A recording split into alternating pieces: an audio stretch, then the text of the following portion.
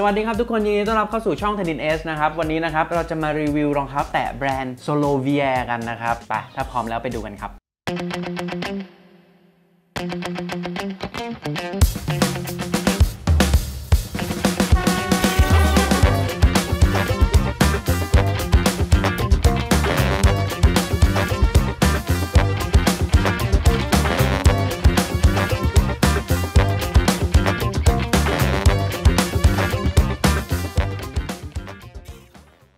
เคนะครับทุกคนวันนี้แบรนด์ที่เราจะมาพูดถึงกัน หรือว่าจะมารีวิวให้ฟังกันเนี่ย ก็คือแบรนด์ที่ชื่อว่า Jacques Soloviere นะครับ เป็นแบรนด์สัญชาติฝรั่งเศสนะครับ จริง ๆ แล้วแบรนด์นี้เนี่ย ผมก็รู้จักมาหลายปีแล้ว แต่ว่ายังไม่เคยมีโอกาสที่จะครอบครองนะครับ แต่ว่าวันนี้เนี่ยมีแล้วแล้วก็เป็นรุ่นโมเดลที่เป็นรองเท้าแตะนะครับเราก็จะมาพูดให้ฟังกันรีวิวให้ฟังกันนะครับแต่ว่าก่อนอื่นนะครับขอพูดถึงแบรนด์นี้ก่อนนะครับแบรนด์นี้จริง ๆ แล้วเนี่ย signature ของเขาเนี่ยเท่าที่ผมเคยสังเกตนะครับจะเป็นรองเท้าหนังกลับหรือว่ารองเท้าหนังเนี่ยที่มีเอกลักษณ์ก็คือมีดีไซน์ที่มันโดดเด่นในเรื่องของหนังชิ้นเดียวที่อยู่บนหน้าเท้าของเราเนี่ยแต่ว่าไอ้ตรงที่เราผูกเชือกเนี่ยมันจะเป็นลักษณะของการใช้หนังชิ้นเดียวที่มีลักษณะเกินขึ้นมาแล้วเราก็ผูกเชือก แต่ว่ามันจะเป็นการพับเข้าไปของหนังที่ทำให้มันเข้ารูปเท้าเรามากขึ้นนะครับดีไซน์เขาก็จะเป็นประมาณนี้นะฮะทุกคนแต่ว่ารุ่นที่ผมได้มาเนี่ยเป็นรุ่นที่เป็นรองเท้าแตะนะครับถ้าเกิดว่า เราสนใจในรูปแบบอื่นเนี่ยลองไปดูในเว็บเขาได้นะครับ อันเนี้ยผมได้มาจากร้าน The Decorum นะครับ ถ้าเกิดว่าใครสนใจแบบอื่นนะ ที่ร้าน The Decorum เขาก็มีเหมือนกันเขาก็จะมีทั้งที่เป็นแบบสน e เกอร์หรือว่าเขาก็จะมี pattern ที่เป็น signature ของเขาแบบนี้แหละแต่ว่าเป็นพื้น crepe sole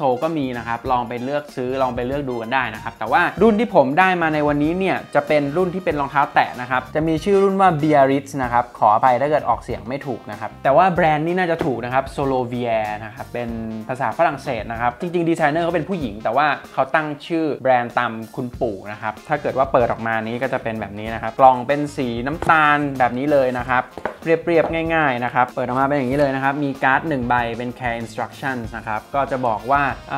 รองเท้าที่คุณได้เนี่ย มันมันจะมีหนังอะไรบ้างนะครับ มี calf leather มี suede มี lamb skin นะครับ แต่ละแบบดูแลรักษายังไงนะครับ มีมาอยู่ในกล่องนะครับ แล้วก็นี่พระเอกของเรานะครับ ตัวรองเท้านะครับ นี่ อันนี้เป็นรองเท้าแตะหนังกลับนะครับ pattern ก็เป็นเอกลักษณ์เหมือนกันนะ ผมยังไม่เคยเห็นรองเท้าแตะที่เป็นหนังที่เป็น pattern นี้เหมือนกันนะ เป็นหนังชิ้นเดียวอีกแล้วนะครับ จะเป็นพาดตั้งแต่ด้านหน้านะครับ ไปจนถึงด้านหลัง แล้วก็อ้อมมา แล้วก็มาจบที่ด้านหน้าเป็นแบบนี้นะครับ คล้ายๆตัว X นี่ แล้วก็เป็นแบบรัดส้น ผมรู้สึกว่า pattern มันโดดเด่น แล้วก็ดูแบบมีอะไรอะ ดูไม่จำเจดีนะครับ ด้านในก็จะมีเป็นถุงผ้าให้นะครับ สกรีนชื่อแบรนด์ไว้เลยนะครับข้างล่าง อันนี้เป็นสี taupe นะครับ ก็สี taupe ก็จะเป็นออก beige อมเทานะครับ จะเป็นสีประมาณนี้นะฮะ ที่ร้าน The Decorum เขามี 3 สีนะครับมีสี taupe มีสีออกเขียวๆ แล้วก็มีสีเป็นน้ำตาลที่สวยเหมือนกันนะ เป็นสีน้ำตาลสดๆนะครับอันนี้ก็ใส่ง่ายเหมือนกันสีน้ำตาล แต่ว่าช่วงนี้ผมอินโทนสีแบบ beige น้ำตาล สีขาวอะไรเงี้ยก็เลยรู้สึกว่า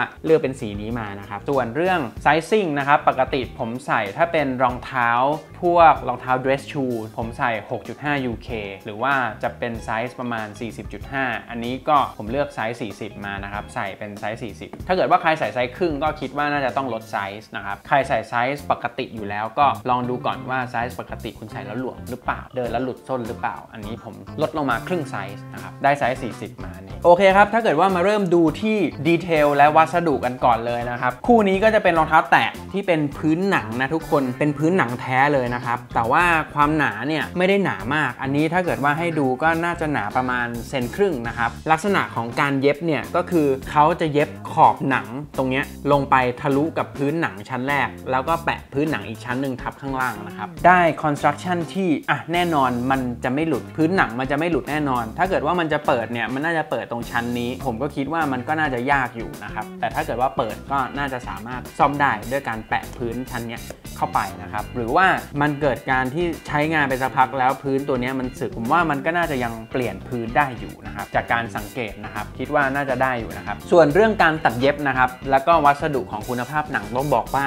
หนังนุ่มมากทุกคนเนี่ยอันเนี้ยมันคือหนังที่ผมรู้สึกว่าเขาน่าจะใช้หนัง 2 แผ่นประกบนะ ก็คือให้ด้านหนังกลับเนี่ยมันออกทั้ง 2 ด้าน ทั้งด้านในของตัวรองเท้า แล้วก็ด้านนอกของตัวรองเท้า จะมีลักษณะเป็นหนังกลับที่เป็นซีลลิ่งเดียวกันนะครับ ด้านในก็จะเป็นหนังกลับที่เป็นฟีลลิ่งเดียวกับด้านนอกเลยนะครับ ก็คือเขาเป็นเหมือนกับว่าเป็นหนัง 2 แผ่นเนี่ยแหละ หันด้านนอกออก2ข้างแล้วประกบเข้าหากันนะครับ ฟีลลิ่งในการใส่ตอนที่ผมลองที่ร้านเขาเนี่ย คือมันนุ่มมากทุกคน คือมันนุ่มมากทุกคน มันนุ่มจนแบบนุ่มลืมอะ ต้องใช้คำว่านุ่มลืมอะ เออ ถ้าเกิดว่าคนชอบหนังกลับแบบผมก็จะรู้สึกว่ามันฟินมากนะ ทั้งพื้นตรงนี้ก็คือเป็นหนังตัวเดียวกันนะครับ ตัวinsole ด้านในเนี่ยก็เป็นหนังตัวเดียวกัน แล้วก็ซับในก็เป็นหนังตัวเดียวกัน แล้วก็ด้านนอกก็เป็นหนังตัวเดียวกัน ผมรู้สึกว่ามันนุ่มไปหมดเลยอะทุกคน และอีกอย่างหนึ่งนะครับด้านล่างของ insole เนี่ยเขาก็เหมือนมีเป็น pad หรือว่าบุตัวฟองน้ำมาแล้วนิดนึงเพราะฉะนั้นตอนที่เราใส่ลงไปเราเหยียบลงไปเนี่ยเราก็จะรู้สึกได้ถึงความนุ่มของฟองน้ำนั้นด้วย ผสมกับความนุ่มของหนังกลับที่มันมีอยู่บน insole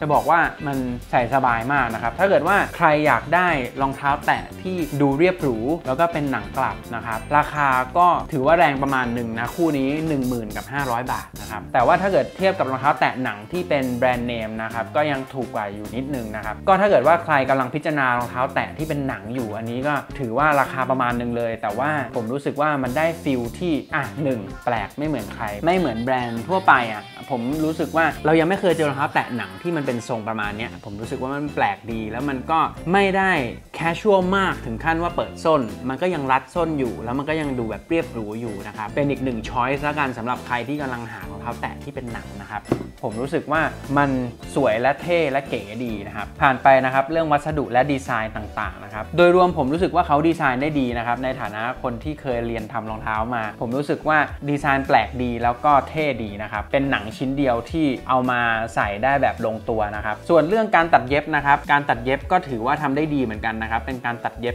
รอบรองเท้า แล้วก็ทำได้ดูสะอาดแล้วก็เนียนตาดีนะครับ เจ๋งดีนะครับ อันนี้ผมชอบเป็นการส่วนตัวนะครับ จะเห็นได้ว่าด้านข้างนี้นะฮะ เป็นแผ่นหนังที่ลงไปเจอตรงนี้ แล้วก็เย็บเข้ากันไว้ นี่คือชิ้นหนึ่งนะครับ แล้วก็ยาวไปถึงด้านหลังนี้ฟ้าอ้อมมานะครับยึดติดไว้แล้วก็อ้อมมาอีกด้านหนึ่งนะครับ มาพาดข้างหน้า แล้วก็ยึดติดมาอีกด้านหนึ่งตรงนี้ ผมรู้สึกว่าเขาดีไซน์ได้ดีนะครับ แล้วการตัดเย็บก็ทำได้ดีมากด้วยเช่นกันนะครับ ดีไซน์กับการตัดเย็บเนี่ยผมให้ 9 ผมรู้สึกว่ามันเป็นอีกหนึ่งรองเท้าที่มีคุณภาพนะครับทั้งทั้งที่เป็นรองเท้าแตะแต่ว่ารู้สึกว่ามีการผสมการดีไซน์เข้าไปพอสมควร รู้สึกว่าเขาคิดแพทเทิร์นแล้วก็คิดการดีไซน์มาดีได้ระดับหนึ่งนะครับส่วนเรื่องความสบายก็ให้ 9 อีกเหมือนกันนะครับใส่แล้วชอบ ใส่แล้วสบายก็เลยชอบนะครับในคู่นี้นะครับ ส่วนต่อไปเรื่องของการสวมใส่นะครับ ความลื่นอันนี้ยังรู้สึกว่ามันยังไม่ได้ลื่นเท่าไหร่ แต่ถ้าเกิดว่าใครรู้สึกว่าใส่พื้นหนังแบบนี้แล้วลื่นไปก็แล้วแต่นะครับว่าจะเอาไปติดพวกแผ่นยางกันลื่น อันนี้แล้วแต่การใช้งานของแต่ละคนนะครับว่าชอบยังไง ถ้าเกิดว่าใครชอบติดแผ่นยางกันลื่นก็จัดได้เลยนะครับโอเคนะครับต่อไปสำหรับเรื่องการสวมใส่ว่าใส่ออกมาแล้วเป็นยังไงนะครับเดี๋ยวผมใส่แล้วถ่ายให้ดูครับว่าเป็นยังไงถ้าพร้อมแล้วไปชมกันครับ